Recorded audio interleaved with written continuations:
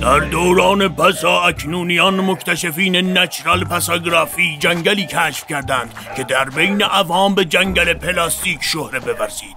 پسا اکنونیان این جنگل تازه یافت را گرامی داشته و در تاریخچه جنگل پلاستیک نوشتند. نیاکان ما سالها پیش برای آیندگان خود این جنگل را احداث بورزیدند.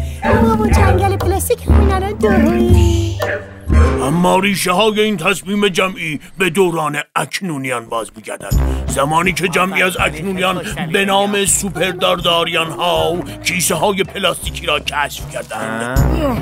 پلاستیک؟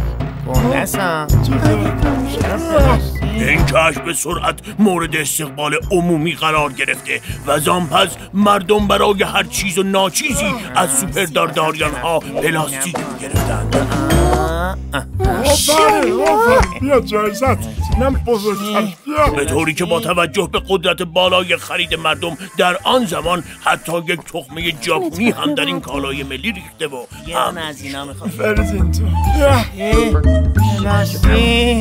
این سرمایه گذاری عظیم که معادل سالانه چندین میلیون دلار چهار و دویست تومانی چی هست؟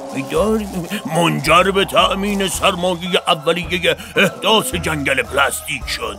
طبق آمار جنگلداری لاس پلاس. جنگل پلاستیک محل پلاس شدن پسا اکنونیان گشته و سالانه بیش از نیم میلیون پلاس شونده در این جنگل. پلاس می شوند حالا معلوم نیست واقعا دارن تشکر می‌کنن یا چی؟ دیگه